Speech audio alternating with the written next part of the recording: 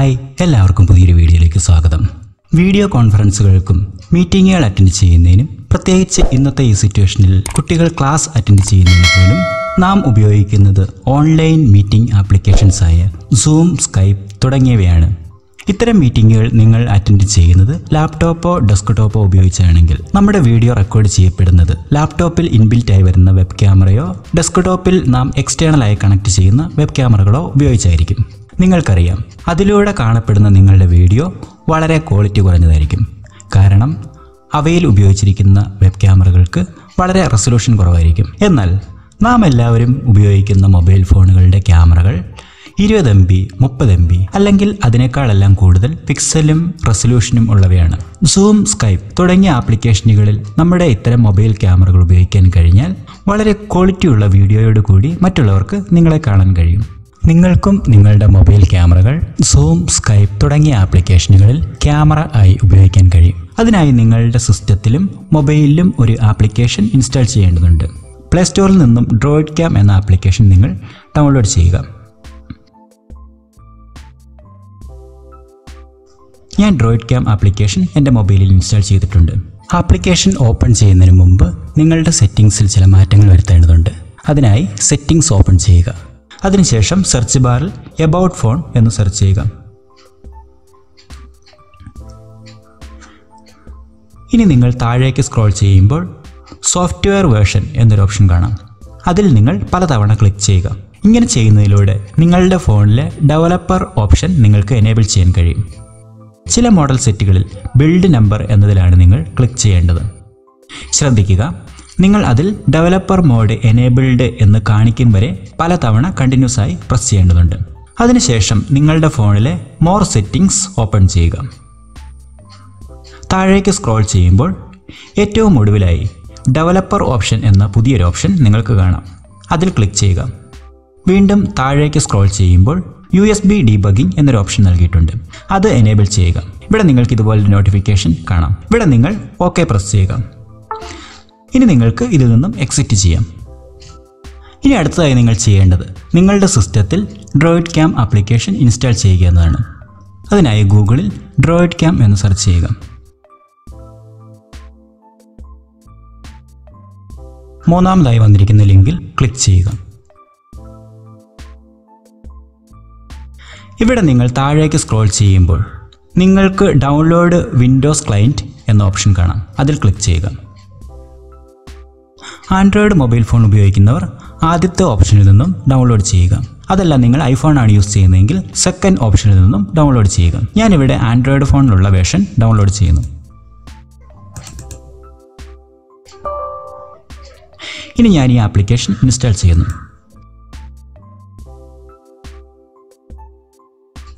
ഇവിടെ നിങ്ങൾ next click ചെയ്യുക. ഐ എഗ്രി എന്നതിൽ ക്ലിക്ക് ചെയ്യുക. തുടർന്ന് ഇൻസ്റ്റാൾ എന്നതിൽ ക്ലിക്ക് ചെയ്യുക. ഫിനിഷ് എന്നതിൽ ക്ലിക്ക് ചെയ്യുന്നതോടുകൂടി ഡ്രോയിഡ് ക്യാം ആപ്ലിക്കേഷന്റെ ഇൻസ്റ്റാളിംഗ് പൂർണമാകുന്നതായിരിക്കും. ഇനി നിങ്ങൾക്ക് ഇതിൽ നിന്നും എക്സിറ്റ് ചെയ്യാം. ഇപ്പോൾ നിങ്ങൾക്ക് ഡ്രോയിഡ് ക്യാം ആപ്ലിക്കേഷൻ ഡെസ്ക്ടോപ്പിൽ കാണാൻ കഴിയും. അത് ഓപ്പൺ ചെയ്യുക. തുടർന്ന് നിങ്ങൾ സെക്കൻഡ് ഓപ്ഷൻ സെലക്ട് ചെയ്യുക. യു എസ് ബി മോഡ് നിങ്ങൾ സെലക്ട് ചെയ്യുന്നതിന് മുമ്പ് നിങ്ങളുടെ ഫോൺ സിസ്റ്റവുമായി യു എസ് ബി വഴി കണക്ട് ചെയ്തിരിക്കണം.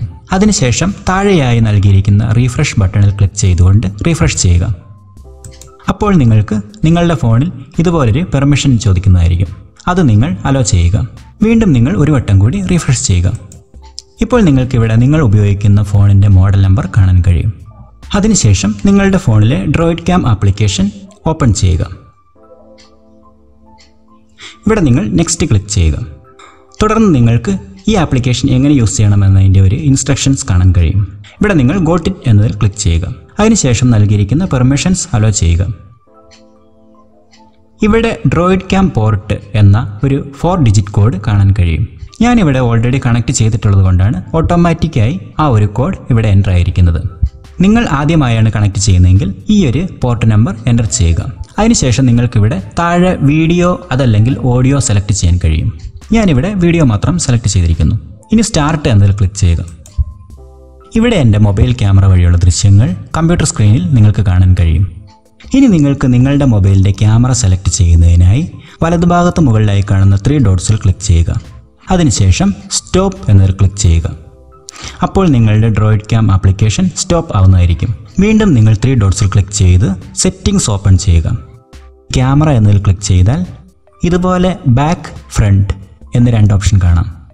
നിങ്ങൾക്ക് ഫ്രണ്ട് ക്യാമറ ഉപയോഗിച്ചാണ് റെക്കോർഡ് ചെയ്യേണ്ടതെങ്കിൽ ഫ്രണ്ട് എന്നത് സെലക്ട് ചെയ്യുക. ഞാനിവിടെ ബാക്ക് ക്യാമറയാണ് ഉപയോഗിച്ചിരിക്കുന്നത്.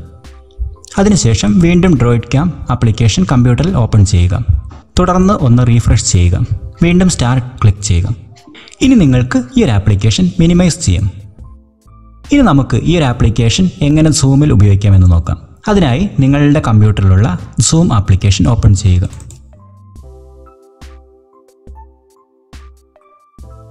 തുടർന്ന് വലതുഭാഗത്ത് മുകളിലായി കാണുന്ന സെറ്റിംഗ്സ് ഓപ്പൺ ചെയ്യുക.